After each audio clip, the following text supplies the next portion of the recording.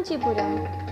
Ekambareshwarar Temple Introduction Ekambareshwarar Temple or Ekambaranathar Temple is a Hindu temple dedicated to Lord Shiva located in the town of Kanchipuram in Tamil Nadu. The temple is significant to Hinduism as it is considered one among the Panch Bhoot Stalas.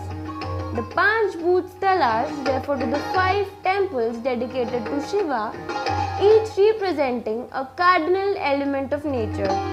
The five elements are earth, water, air, and fire. The Ekambareshwara temple represents Shiva as the element of earth or Prithvi and the idol enshrined here is called the Prithvi Lingam. Shiva's consort, goddess Parvati, is depicted here as Gauri Devi Amman. The temple was originally built by the Pallavas.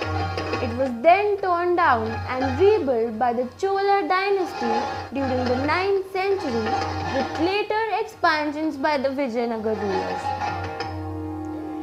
Covering a massive area of 25 acres, the Ekambareshwara temple is one of the largest temple complexes in India.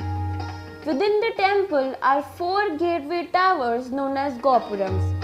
The tallest of these four towers is 11 stories tall with a height of 55 meters, making it one of the tallest temple towers in India. There are numerous shrines within the temple that you will be able to visit. The most prominent among these are the shrines of Ekambareshwarar and Neelathingal Thundam Perumal. You can also find many halls inside the temple complex.